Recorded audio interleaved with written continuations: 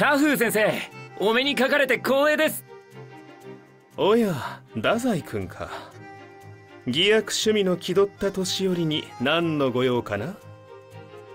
いいやそんなことは書いたけど。なんだかんだ俺はカフー先生のファンでして。冗談だよ。それにしても君の方こそブライ花ドとの玉い偽薬趣味に没頭していたように僕には見受けられるな。そうですね。結局そこを吹っ切れたカフー先生の作品に俺は憧れていたんだと思います。君は少々真面目すぎたな。